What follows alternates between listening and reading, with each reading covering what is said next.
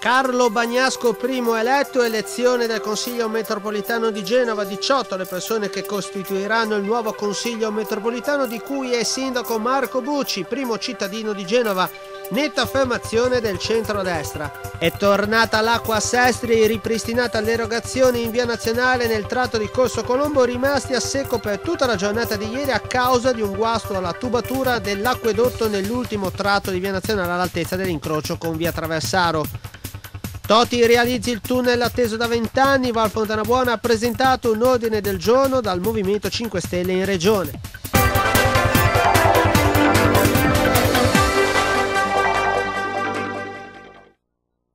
Buonasera dal TG Tiguglia, apriamo con la politica, lo spoglio delle schede, il conteggio dei punti relativi al Consiglio metropolitano è chiaro, per Forza Italia netto primo posto per il sindaco di Rapallo Carlo Bagnasco seguito da Guido Guelfo. Si è svolto questa mattina lo spoglio delle schede relative alle elezioni del nuovo Consiglio metropolitano di Genova. Alta l'affluenza alle urne. Ieri ha votato il 76,68%, nei comuni minori ha votato poco più del 50%. Quattro le liste in lizza. Avanti Tiguglio, Coalizione Civica per la città metropolitana, Patto metropolitano per la città metropolitana. 18 le persone che costituiranno il nuovo Consiglio metropolitano, di cui è sindaco Marco Bucci, primo cittadino di Genova. I 18 sono Carlo Bagnasco, Guido Guelfo, Stefano Anzalone, Adolfo Olcese, Salvatore Muscatello, Enrico Piccardo, Simone Ferrero, Claudio Garbarino, Franco Senarega, Roberto Cella e Agostino Bozzo. Si configura dunque una netta vittoria del gruppo Bagnasco-Muzio. 5 invece gli eletti per la coalizione del centro-sinistra. Elio Cuneo, Maria Grazia Grondona, Stefano Damonte, Claudio Villa, Enrico Pignone per la lista di sinistra Daniela Tedeschi, per la lista di Capua Antonio Segalerba. Ieri attorno alle 17, 3 km di coda sulla 12 nel tratto tra Recco e Genova Nervi per un incidente. La situazione è migliorata mezz'ora dopo, a seguire però di nuovo code a tratti tra Chiavari e Genova Nervi per il traffico, incidente anche nello stesso tratto nella giornata di oggi. Auto contro muro di una casa, un ferito a San Martino, il fatto è accaduto ieri a Cicagna. Grave incidente ieri mattina all'alba a Monleone di Cicagna sulla strada provinciale 225 dalla Val Fontanabuona. Un giovane alla guida della sua auto è finito fuori strada e nell'urto si è procurato una sospetta frattura del bacino. È stato trasportato in codice rosso al San Martino di Genova. Il giovane, un 26enne, stava tornando a casa intorno alle 5 del mattino quando, per cause ancora da accertare, ha perso il controllo del mezzo ed è andato a sbattere contro il muro di una casa. Sul posto l'automedica del 118 e i volontari della Croce Rossa di Cicagna, ma anche i carabinieri e pure i vigili del fuoco del distaccamento di Chiavri, che hanno dovuto estrarre il ferito dall'abitacolo dell'auto. Con lui non c'erano passeggeri e non risultano altri mezzi coinvolti. Le sue condizioni sono apparse gravi in codice rosso e è stato trasportato all'ospedale San Martino di Genova. Andiamo a Sestri Levante perché il comune fa sapere che sarà presente da giovedì prossimo 12 ottobre alla fiera TTG di Rimini insieme a quelli di Chiavari e Framura. L'evento come noto è uno dei più importanti in Italia per la promozione turistica e per i tre comuni del Levante Ligure sarà anche occasione per prendere contatti con gli operatori internazionali e gli espositori in vista della seconda edizione di Discover Italy Meeting Swiss e Europe di nuovo in programma all'abbazia eh, dell'Annunziata. Il sindaco di Sestri Levante Valentina Ghio sarà relatrice venerdì al convegno come promuovere una destinazione turistica e dice un'occasione prestigiosa che vede riconoscere il significativo lavoro che abbiamo portato avanti in questi anni. L'inserimento in questo momento di incontro sarà per me l'occasione per raccontare il pensiero che ha spinto l'amministrazione comunale di Sestri a creare questo percorso e come lo abbiamo portato avanti. Restiamo a Sestri perché è tornata l'acqua in via nazionale, ieri mattina si era rotta una tubatura. Ieri mattina un guasto alla tubatura principale dell'acquedotto ha provocato l'allagamento dell'ultimo tratto di via nazionale verso il centro di Sesti, zona Califerre, lasciando anche senza acqua corrente diversi condomini. L'intervento dei tecnici dell'acquedotto però ha risolto il problema in serata. Il traffico è stato deviato in via Traversaro fino al termine delle operazioni. Gli autobus con direzione Chiavari sono stati costretti a transitare a Lapide, via Fasce, via Baden Powell, via Fasce, mentre il ritorno verso la frazione di Riva o Casale Casazza è stato senza variazioni. Per quanto riguarda l'acqua potabile, i tecnici erano riusciti a farla tornare in diverse abitazioni, ma il problema perdurava nel tratto interessato di Via Nazionale e in parte di Corso Colombo. Un'autobotte addirittura è stata posizionata in Via Nazionale. Lo scavo è stato riempito in serata, le finiture questa mattina. Inaugurata questa mattina la nuova caserma dei Carabinieri di Torriglia, stazione che fa capo alla compagnia di Chiavari. Presente anche il ministro della difesa Roberta Pinotti, oltre al comandante regionale dell'Arma, generale di corpo d'armata Tullio del Sette. L'immobile era di proprietà privata, ma l'amministrazione comunale di Torriglia lo ha ristrutturato per esigenze dei carabinieri, concesso in comodato gratuito. La stazione dei Carabinieri di Toriglia esiste fin dal 1816. Il territorio di riferimento è montuoso, ai piedi del monte Prelà, con le valli dei fiumi Trebbia e Scrivia e il grande bacino del lago del Brugneto, per una superficie di circa 107 km quadrati e una popolazione di 2729 abitanti. Andiamo in Val Fontana Buona, o meglio a Genova, perché si torna a parlare del tunnel della Val Fontana Buona grazie ad un ordine del giorno presentato dal Movimento 5 Stelle in Regione. Pronto un ordine del giorno per sollecitare lo studio e la realizzazione del tunnel della Val Fontana Buona. Lo annuncia Alice Salvatore, portavoce del Movimento 5 Stelle Liguria, a margine della commissione di questa mattina in regione. Da vent'anni si parla del tunnel, dice la Pentastellata. Politicamente siamo tutti d'accordo. Traversalmente parliamo dell'area ligure, forse italiana, con il più alto tasso di presenza di imprese, 2.220 imprese per circa 1.500 abitanti purtroppo oggi sempre più isolate. Chi governa la regione non sta facendo nulla, lasciando senza un collegamento fondamentale uno dei territori più produttivi di tutta la Liguria. Se il problema sono i costi elevati del progetto, esistono esempi virtuosi all'estero, esistono tecnologie più economiche e meno impattanti. Il Movimento 5 Stelle, afferma ancora Salvatore, è sempre stato a favore della creazione del tunnel, purché si tratti di un'opera sostenibile dal punto di vista ambientale ed economico. Come emerso anche dalle audizioni in commissione, in paesi come la Svizzera esistono anche sistemi di treni navetta per auto sul modello del tunnel del Vereina, che farebbero risparmiare forse un centinaio di milioni di euro, con impatti assai ridotti sull'ecosistema. Le soluzioni esistono già, basta studiarle e metterle in pratica affinché la Val Fontana Buona sia finalmente tirata fuori dall'isolamento. L'entroterra di Levante e l'emergenza occupazionale della nostra regione, conclude la grillina, non possono più attendere.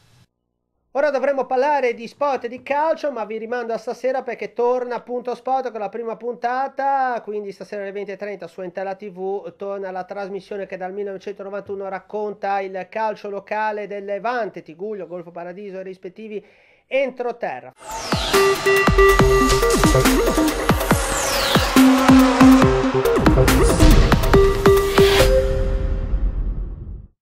Ancora in primo piano la paventata chiusura del punto nascita di Borgo Valditaro. Potrebbe esserci ancora un barlume di speranza. Infatti la Regione può tenere aperto questo punto nonostante il parere negativo del Ministero della Salute e della Sanità. Lo si è già visto in alcune regioni e in primis in Lombardia. Una notizia che ci viene inviata dal consigliere regionale della Lega Nord Fabio Rainieri. Sentiamo. La regione Emilia-Romagna può ancora mantenere aperto il punto nascita di Borgotaro. È stato il ministro della Salute Lorenzin a ribadire alcuni mesi fa che il suo ministero non impone alcuna chiusura poiché esprime solo pareri tecnici. La decisione finale spetta solo ed unicamente alle regioni.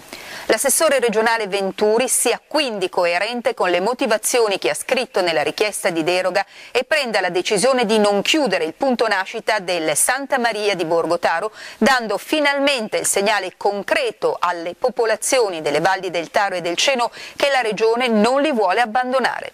Con queste parole il vicepresidente dell'Assemblea legislativa dell'Emilia Romagna ed esponente della Lega Nord Fabio Rainieri ha voluto riaffermare all'indomani del parere negativo ministeriale per la deroga alla chiusura dei punti nascita nelle zone montane dell'Emilia che vi è ancora un barlume di speranza per non far chiudere la maternità borgotarese.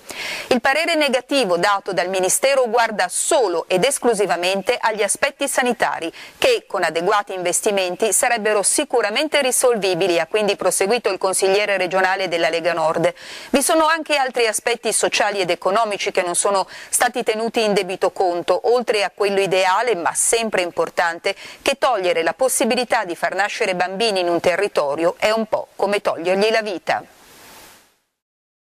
Io sono nato a Borgotaro è la bella iniziativa partita ieri su Facebook grazie all'input di Marta Berzolla e che invita tutti coloro che sono per l'appunto nati a Borgo Valditaro di pubblicare su Facebook la foto del proprio profilo con la scritta Nato a Borgotaro per sottolineare la propria nascita presso il reparto di maternità dell'ospedale Santa Maria il cui punto nascita come sapete pare avere il destino ormai segnato. Intasate Usate Facebook di vostre foto, dice il sindaco di Berceto Luigi Lucchi, facciamolo tutti e dimostriamo che a Borgotaro sono nate persone che hanno un viso ed un nome e che non sono solo numeri come invece vengono considerati dal Ministero della Salute. Ed è proprio il sindaco Lucchi nel prossimo servizio, nella prossima intervista, a non risparmiare aspre critiche su questa decisione. La bocciatura della proposta della giunta regionale del nas, della proroga per il punto nascite di Borgotaro da parte del Ministero della Sanità è una cosa gravissima. Non riguarda solo la sanità che è importantissima anche da un punto di vista simbolico, come si può vivere in montagna se non si può più nascere in montagna, ma è anche il momento che dobbiamo farci sentire per davvero senza nessun tipo di strumentalizzazioni politiche. La posta in gioco è il sistema sanitario nazionale che lo si vuole scassare definitivamente per privatizzarlo e non avere opposizione azioni contro la privatizzazione del sistema sanitario nazionale. Abbiamo i costi più bassi d'Europa sulla sanità, continuano a fare dei tagli, a usare dei termini obbrobriosi come dire che meno di 500 nascite in un ospedale non sarebbero sicure. Queste sono delle sciocchezze da un punto di vista scientifico, può essere sicurissima anche una sola nascita con i medici adeguati. Quindi ho scritto al Presidente del Consiglio Gentiloni, ho scritto al Presidente della provincia di convocare l'Assemblea dei Sindaci, sono disponibile con i mezzi di cui sono capace, ma sicuramente mezzi politici, spero di bella politica, di far capire che la montagna non vuole morire definitivamente. È stata intrapresa una politica cosiddetta del carciofo, una foglia alla, alla volta, ci stanno togliendo tutto, stanno distruggendo i comuni, hanno distrutto la provincia, hanno tolto il corpo forestale dello Stato, distruggono i treni, distruggono tutti i servizi che sono in montagna e adesso sono arrivati anche a distruggere la possibilità di nascere in montagna.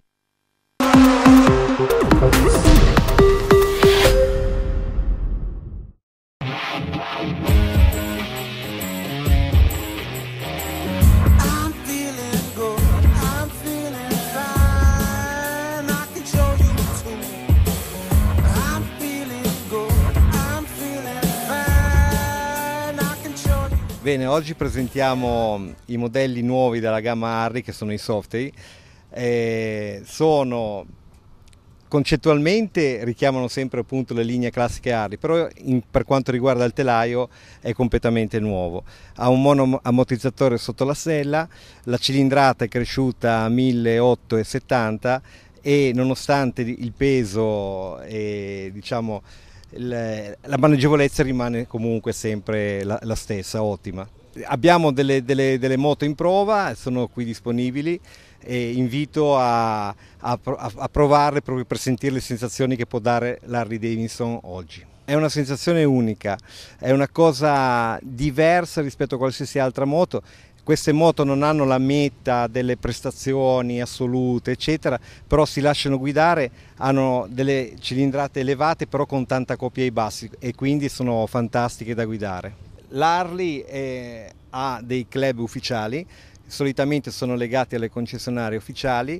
Il nostro club si chiama Portofino Coast Chapter e qui abbiamo il direttore, il director che vi illustrerà un attimo il nostro chapter. Ciao a tutti, sono Stefania, come diceva Marco sono il director del Portofino Coast Chapter. Eh, questi club nascono per essere da supporto alla concessionaria e quindi aiutare a promuovere quello che è il mondo Harley Davidson siamo legati alla casa madre e alla OG, è per quello che per essere iscritti al chapter bisogna avere in primis la tessera OG, essere iscritti OG e poi ci si può iscrivere al chapter. Le finalità di iscrizione possono essere varie a seconda del club di appartenenza, di quello che si decide. In generale bisogna frequentare un po', vedere se ci si trova bene, se ci piace questo mondo, stare insieme a noi e poi ci si può iscrivere e partecipare ai nostri giri, andare agli eventi OG. È un modo per stare insieme, per conoscere quello che è il mondo Harley, la passione che ci accomuna, lo stare insieme, divertirsi, insomma è un bellissimo mondo e bisogna provare per capire, quindi vi invito tutti ulteriormente, come ha detto Marco, a venire a provare queste moto per capire cosa vuol dire essere alla guida di un Harley Davidson. Questa domenica il nostro chapter farà il compleanno, il sedicesimo compleanno per l'esattezza, perché è nato nel 2001, nel settembre del 2001 e quindi sono ben 16 anni che siamo orgogliosi di portare questa bellissima scritta sui nostri gilet. Come potete vedere, Portofino Cost Chapter Forever. Domenica mattina ci incontriamo al nostro punto di incontro, il The Center che è qua vicino alla concessionaria. Partiremo per un giro sull'Aurelia semplicissimo per raggiungere la piazzetta ovviamente di Portofino dove abbiamo il permesso per arrivare giù con le moto, fare la foto di rito. Dopodiché ci sposteremo a Santa Margherita che ci accoglieranno all'anfiteatro Bindi, posteggeremo le moto in centro in Bella Vista e poi il ristorante La Cambusa ci attende per un bellissimo pranzo e poter festeggiare festeggiare questi nostri anni insieme, tutti insieme, divertirsi e fare festa.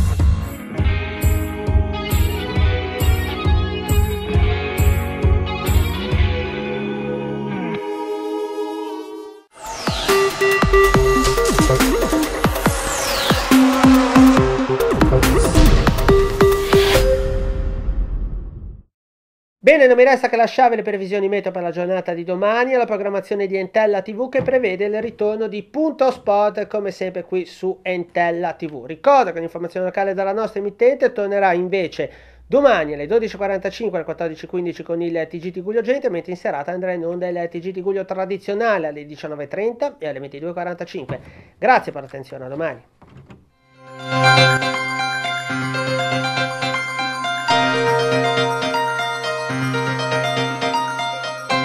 Previsioni per domani, martedì 10 ottobre. Soleggiato sulla costa.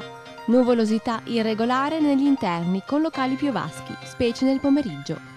Venti deboli dai quadranti meridionali. Mare poco mosso, umidità su valori medio-alti.